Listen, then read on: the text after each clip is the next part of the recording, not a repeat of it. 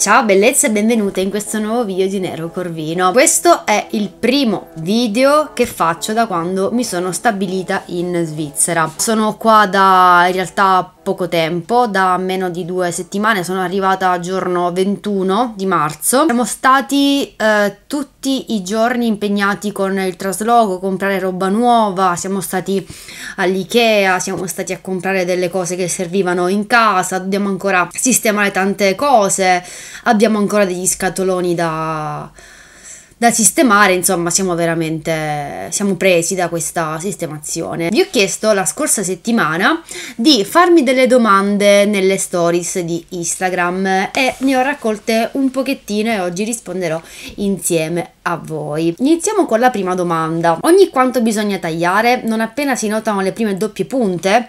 Allora, ehm, in realtà no, dovresti tagliare un po' prima di vedere le doppie punte. La eh, situazione ottimale sarebbe quella di prevenire la comparsa di doppie punte effettuando dei piccoli tagli a cadenza. Ad esempio, quello che faccio io per evitare proprio che compaiano le doppie punte è quello di tagliare i capelli due o tre volte l'anno, fare delle spuntate di 4, 5 o 6 cm massimo e eh, così mantenere la salute dei capelli. Nel momento in cui tu noti la comparsa di doppie punte già il danno si è palesato, quindi saresti costretta a tagliare di più di quanto invece taglieresti prevenendo la comparsa delle doppie punte. Quello che ti posso consigliare è quindi di spuntare 2-3 volte l'anno togliendo un 4 cm a spuntata. Prossima domanda, ma è la Svizzera italiana? Altrimenti come farai con la lingua? No ragazze, non sono in Svizzera italiana, io sono in Svizzera tedesca, siamo in un piccolo paesino vicino Zurigo, eh, Mauro lavora qui, eh, nell'ospedale appunto del paese, ci siamo eh, fermati qui in questo momento, poi vedremo il futuro dove ci condurrà, sicuramente eh, per adesso restiamo in Svizzera tedesca anche perché io eh, tra poco, eh, ormai meno di due settimane, inizierò il corso di lingua tedesca, quindi sì, ragazze, comincerò a parlare il tedesco. E poi insomma eh, questo mi consentirà di trovare un lavoretto che a sua volta mi consentirà di ottenere il permesso di soggiorno. Cercherò di non trascurare il canale anche perché io ho anche il canale di Mente Criminale che è il canale eh, del true crime vi lascio qua sopra eh, linkato nella bandina se ancora non mi seguite su Mente Criminale ehm, quindi cercherò di fare un video a settimana sul Nero Corvino e ci provo un video a settimana su mente criminale anche se su mente criminale sono un po' lenta a fare video perché il materiale da reperire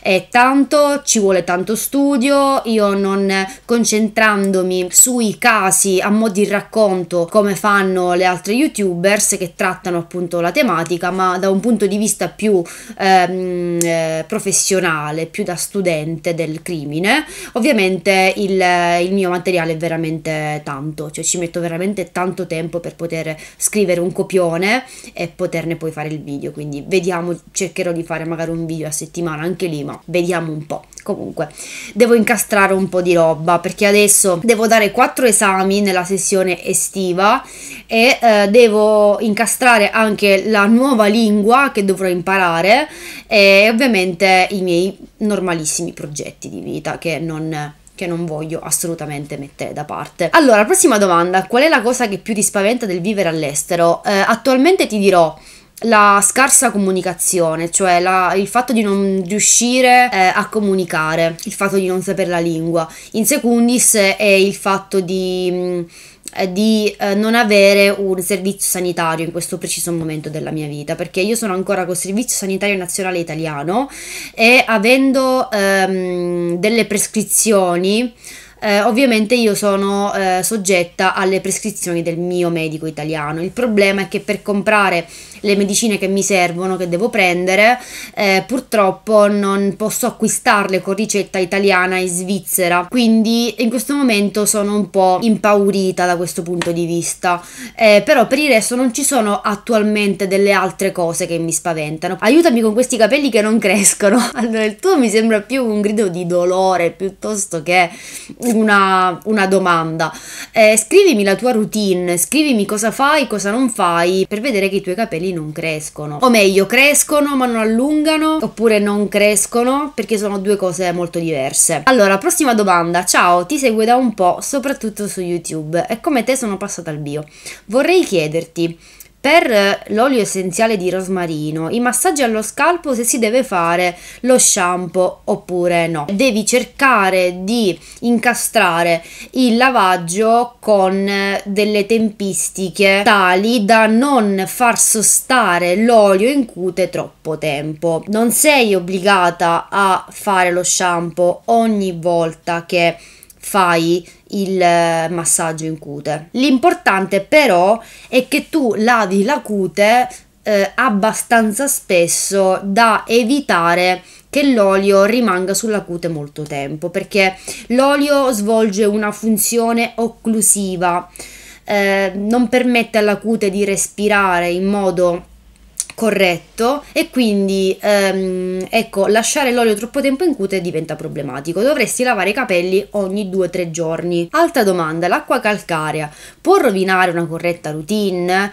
Sì, una, una, soluzione basica, quindi in questo caso, può andare ad inficiare i risultati che puoi ottenere con una corretta routine, perché il pH basico in questo caso va in contrasto con quello che è il pH naturale della nostra pelle, dei nostri capelli, che è leggermente acido, e quindi può andare a ehm, fare una serie di cose che vanno un po' a rompere l'equilibrio del nostro fisico. Quello che ti posso ehm, consigliare è che se hai un'acqua particolarmente calcarea a casa, eh, puoi fare risciacquo acido. Ti lascio qui in alto il video in cui parlo di risciacquo acido e risciacquo basico, in cui affronto i diversi pH, così può eh, esserti d'aiuto a capire un pochettino tutto il contesto delle soluzioni. Risolvendo con un risciacquo acido la situazione si dovrebbe ecco appianare. Nessuna domanda, ma grazie per avermi fatto ricordare panico paura.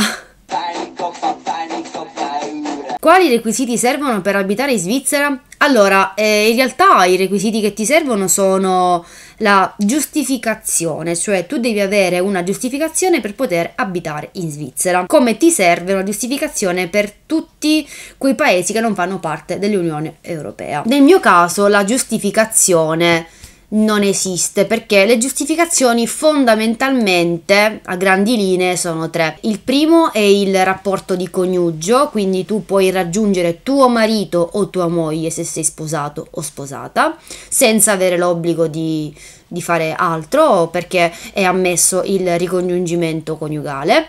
In secundis puoi venire in Svizzera per motivi di studio se sei iscritto ad una facoltà svizzera, quindi ad esempio le persone in Erasmus che vengono in Svizzera eh, possono dichiararsi come studenti oppure in terzo luogo per lavoro. Io non avendo nessuna di questi tre permessi fondamentalmente eh, ho bisogno di imparare la lingua per poter fare un lavoretto eh, e poter quindi ottenere il mio permesso di soggiorno, un po' come ha fatto Mauro all'epoca quando è venuto in Svizzera. Questa è la storia. Il problema è che devo sapere la lingua e quindi adesso devo imparare il tedesco. Altra domanda, come stai? Eh, abbastanza bene. Vorrei sapere cosa posso usare come shampoo naturale, possibilmente non polveri. Eh, purtroppo non c'è molta scelta se vuoi evitare di utilizzare le polveri. Puoi eh, dirigerti verso degli shampoo ecobiologici solidi o degli shampoo ecobiologici eh, liquidi, ma penso che comunque tu l'abbia già fatto come passaggio. Purtroppo se ti vuoi indirizzare verso uno shampoo totalmente naturale, non ci sono molte sostanze che puoi utilizzare come sostituti. C'è il fieno greco che ha un leggero potere lavante, ma non può essere utilizzato come sostanza esclusiva detergente, quindi non, non ti consiglio di utilizzarlo come shampoo. E purtroppo non, non c'è molto da fare. Altra domanda, miscela camomilla fitophilos per ispessire senza scurire base castana castano. Allora, eh, io ho visto l'inci di questa miscela camomilla, ho visto che c'è una percentuale di Lausonia inermis e puoi utilizzarla se vuoi un po' ispessire i capelli, però non pensare di ottenere un risultato fantastico, cioè non pensare di avere un ispessimento particolarmente evidente o evidente, perché per avere un ispessimento dei fusti devi utilizzare l'ausonia inermis pura o al massimo mixata con un'altra polvere, come ad esempio quando fai l'indigo o il katam. Comunque deve essere una percentuale sufficiente per poter agire in questo senso. In ogni caso, inspessire significa anche ottenere uno scurimento del colore via via perché lo strato scurisce. Comunque con questo tipo di miscela non ispessirai chissà quanto. Cosa aggiungere all'impacco tintorio per non far seccare i capelli? I gel naturali, mm, ce ne sono tantissimi in commercio, molti si trovano meglio però con il gel di aloe vera perché hanno notato che gli altri gel tendono a far scaricare l'enne o comunque le tinture vegetali, eh, mentre invece l'aloe vera insomma non è così pericolosa da questo punto di vista. Eh, io stessa cerco di utilizzare l'aloe vera quando tingo i capelli perché ho notato che il gel di semi di lino o il gel di fenogreco sia inseriti all'interno del composto tintorio sia fatti poi con un impacco idratante dopo aver tinto i capelli tendono a far scaricare il colore però ecco devi fare un po' di test per vedere qual è la sostanza migliore per te. Dipende anche da capello a capello. Bene ragazze, le domande sono finite.